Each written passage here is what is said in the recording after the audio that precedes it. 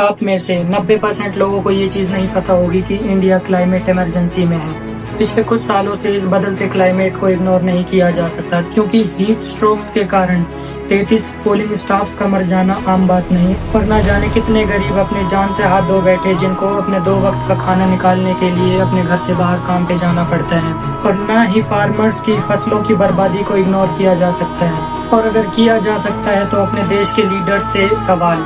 कि मोदी जी एंड राहुल गांधी जी, क्यों आपको देश की परेशानियाँ नहीं दिखती? आखिर कब तक आप हिंदू मुसलमान का मुद्दा बनाओगे?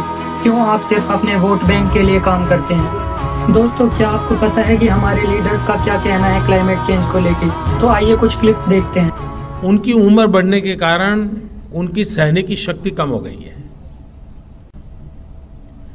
वैसे ही ये क्लाइमेट चेंज नहीं हुआ है, हम चेंज हो गए हैं। Scorching hot the temperatures are high प्याज पॉकेट में रखो कुछ नहीं होने वाला। सही है कि नहीं? हाँ। और हमारे लीडर्स को मैं कहना चाहता हूँ कि ignorance is not a policy आखिर कब तक आप इन चीज़ों को इग्नोर करते रहे? आपको स्ट्रिक्ट क्लाइमेट कंसर्निंग कमिटीज बनानी चाहिए। और मैं आप सभी लोगों को बता दूँ कि ये काम सिर्फ़ गवर्नमेंट का नहीं है इसमें हमें भी बढ़ चढ़ के हिस्सा लेना पड़ेगा। और कमेंट सेक्शन में मैंने स्टेप्स मेंशन कर दिए हैं जिनको हम अपनी लाइफ का हिस्सा बना के क्लाइमेट चेंज को रोक सकते हैं।